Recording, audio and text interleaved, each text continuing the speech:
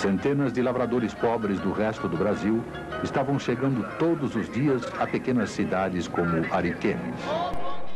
O período é o do fim da ditadura. Uma grande vontade popular de evoluir. Com mais de 10 municípios já criados e em fase de constante estruturação, é declarada a instalação do estado de Rondônia, com a nomeação do primeiro governador do estado. De lá para cá, muita coisa aconteceu. Mas para falar com propriedade no assunto, convidamos o professor Célio Leandro, que nos conta sobre a importância da data. O espaço de Rondônia já foi definido lá em 1943, na verdade, né? no dia 13 de setembro de 43, quando foi criado o território federal do Guaporé. E aí delimitou-se o que nós temos hoje como espaço de Rondônia, as fronteiras, todo o território que nós compomos hoje. A questão do dia 22 de dezembro de 1981 foi puramente político.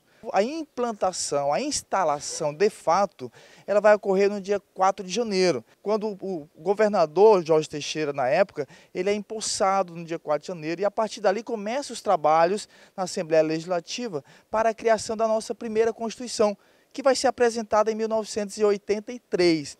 Então, o dia 4 de janeiro é a instalação do Estado todos os secretariados, todos os servidores tomando posse, o governador, que até então era governador do território, vai tomar posse como governador do estado no dia 4 de janeiro de 1982. Aqui em Porto Velho foi criada a esplanada das secretarias, onde passariam a funcionar os secretários que tomaram posse no dia 4 de janeiro.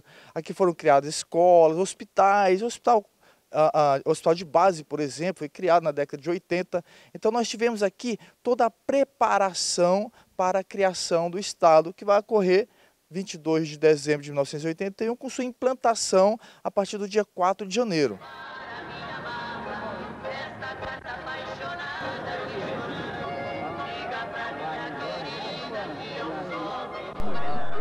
Após a instalação do Estado, outras personalidades fizeram história.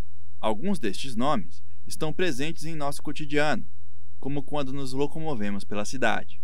Na década de 40, nós tivemos a Luiz Ferreira, um governante que vai governar o território em um período de guerra mundial. Então ele vai proporcionar uma segurança, postos militares aqui no estado, vai fortalecer a fronteira. Então a Luiz Ferreira é outro grande personagem da nossa história. E aqui nós temos, sem dúvida nenhuma, Jorge Teixeira, o construtor de Rondônia é Jorge Teixeira, que veio para cá no final dos anos 70 e que vai construir as bases para a criação do Estado. Então nós temos sim grandes personagens que merecem ser rememorados e lembrados, especialmente nessas datas em que nós comemoramos 40 anos de criação e instalação do Estado de Rondônia. É neste período em que a BR-364 já está em pleno funcionamento, momento favorável para o povoamento e estruturação da região tanto no eixo político como social. Essa política do INCA me parece uma política inteligente, acertada e tende a atender uma quantidade cada vez maior de imigrantes. E esse ano nós estamos esperando cerca de 80 mil a 90 mil novos migrantes. Já tivemos 71 mil ano passado. Com a BR-364 em obras, eu acredito que o processo de colonização será acelerado com um aumento cada vez maior de imigração.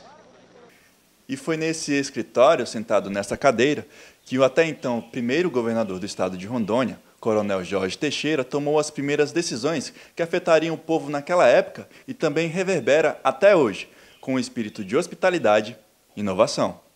Pesquisas mostram que nós somos um estado muito acolhedor e hoje nós já somos filhos de Rondônia. Os primeiros pioneiros que aqui estiveram já deixaram suas raízes, gerações e gerações que hoje já estão aqui, de fato, podem dizer-se filhos de Rondônia. Então, nós temos uma expectativa de um futuro muito belo e brilhante, um Estado novo, pujante, que representa essa miscigenação no qual vivenciamos.